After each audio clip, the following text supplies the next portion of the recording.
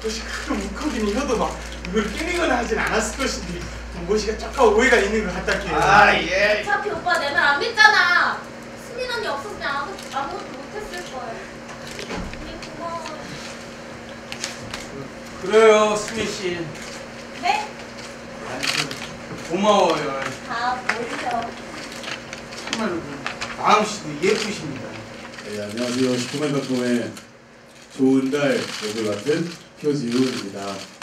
제가 원래는 이제 음악과 중고등학교 때부터 음악을 좋아하던 아이였고 이제 연기도 되게 흥미 있게 지켜보고 막 연기학원 다니면서 되게 꿈이 이쪽으로도 있었는데 그 음악 쪽으로 더 잘 풀리게 돼서 제가 일찍 그 데뷔를 하게 된 경우고요. 계속 이제 연기를 관심을 갖고 해야지라고 생각하고 있었는데 이제 친구들이 군대를 갔다 오고 나서 제가 이제 같이 도와주면서 또 같이 도움을 받으면서 할 수 있는 게 뭐가 있을까 생각하다가 아 그럼 우리가 고등학교 때 얘기했던 우리가 극단을 한번 만들어 보자 그래서 연극을 한번 공연 올려보자 그래서 이제 그걸 이루고 지금 열심히 하고 있습니다 너무 재미있고요 또 계속 열심히 연기하는 모습도 지켜봐 주셨으면 좋겠습니다. 예쁘게. 아 제가 완전 이 서울 사람이에요.